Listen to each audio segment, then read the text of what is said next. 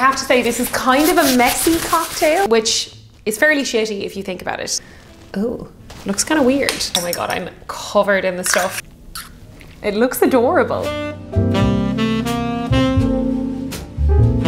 Well, hello there, and welcome back to another episode of Cocktails with Ciara. My name is Ciara, and I'm a whiskey loving Irish gal who's on a cocktail voyage of discovery. If you're new here, I have zero professional bar experience other than a passion for making mixed drinks at home and showing you how I do it. So hit that subscribe button, stick around, and we both just might learn something because if I can do it, you can do it. So in today's video, I'm going to be making a cocktail that I am so excited to not only make, but also try for the first time. It is summery, it's beautiful, I've heard it's delicious. I'm going to be making a painkiller. So not only is the painkiller supposed to be absolutely delicious, but it has a very interesting backstory. And if you've watched this channel before, you will know that I absolutely love learning a little bit of history about the cocktails that I am making. And this one in particular is very good. So before we get into the history of a painkiller cocktail and I show you how I make it at home for the first time, I would like to take a second to tell you about my Patreon. Not only is it a great way of supporting my channel, but you can also have access to exclusive content. You can join in on my monthly live stream with my Patreon community and you can see the footage that is just too tipsy for YouTube. So without rambling on too much, let's get into the history of a painkiller.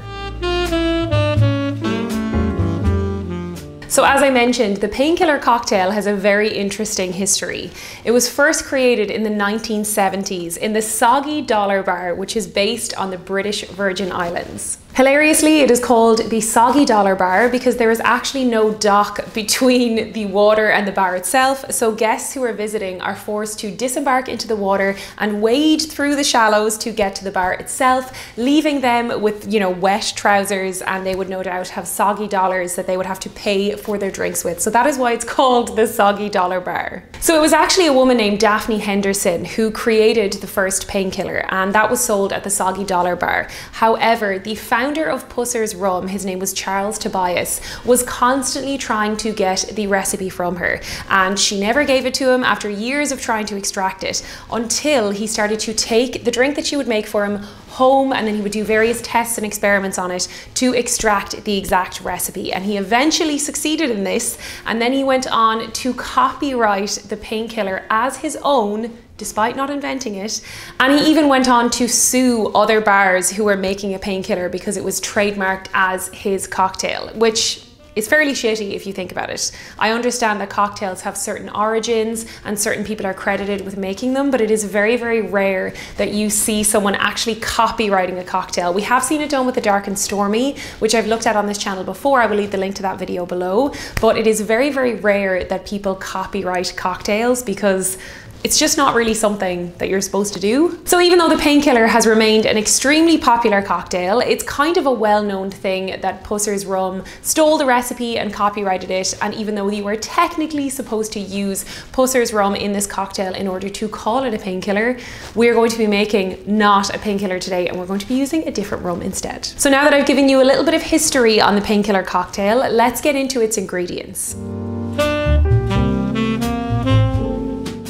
So as you can imagine, the painkiller is a rum-based cocktail. And if you want to call it a painkiller and serve it in your bar or restaurant, then technically speaking, you have to use Pusser's rum. But today we're going to be making not a painkiller and I'm going to be using a different type of rum on principle alone.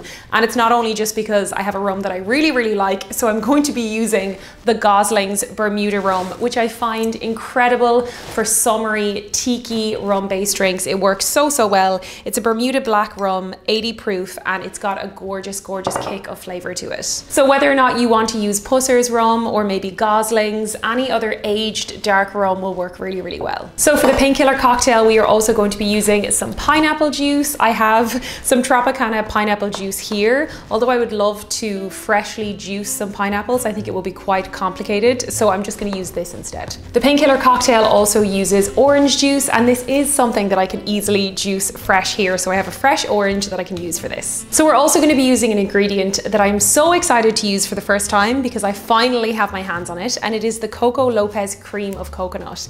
If you watched my pina colada cocktail video from probably a year ago at this stage, I used the closest thing to cream of coconut that I could find, which was coconut cream, but this is what you want to use for those kinds of cocktails. So apparently this is going to work really, really well and give it that gorgeous creamy consistency. So very excited to use it. And then the garnish for this drink is very simple. It is just a sprinkle of grated nutmeg, which I'm really curious to see how that will work in this drink because it's not a typical garnish at all, especially for a summery drink like this. Okay, so now that we have all of our ingredients ready, let's get into actually making a painkiller. So despite this cocktail being very similar to the pina colada that I mentioned before, the method for this one is actually a lot more simple. There's no blending involved. You're basically just shaking everything up together. So it should be pretty straightforward. In you go. This Gosling's aged rum is Oh my God, it's so gorgeous. it just smells like summer. So we're gonna be doing 60 mils of this, so pretty generous. Uh, when I was looking up the painkiller, apparently there are three different versions depending on how much pain relief you need. And it comes as no surprise that the painkiller actually started as a hangover cure. So we're gonna do 60 mils of rum into our shaker. Okay, so 45 mils of pineapple juice in on top. 15 mils of orange juice, and this I'm gonna squeeze fresh. Oh, beautiful. That is a very juicy orange. Okay, so 15 mils of fresh orange juice. All right, so now we've got our rum, our pineapple juice, and our orange juice in our shaker. So let's go ahead and open the cream of coconut. I'm actually so buzzed about using this. Oh, looks kind of weird. Smells like coconut. Okay, so 22 mils of our cream of coconut. Did I stir that enough? I'm gonna have to give this a really, really good shake. Oh my God, I'm covered in the stuff. I have to say this is kind of a messy cocktail, which isn't a bad thing necessarily, but I hope it's worth it. Do you know what I mean? So we've got everything in the shaker. Not gonna lie, the cream of coconut is kind of coagulating on the top. Doesn't look very pretty, but we're gonna give it a good shake and see if we can mix it up nicely and see how we get on.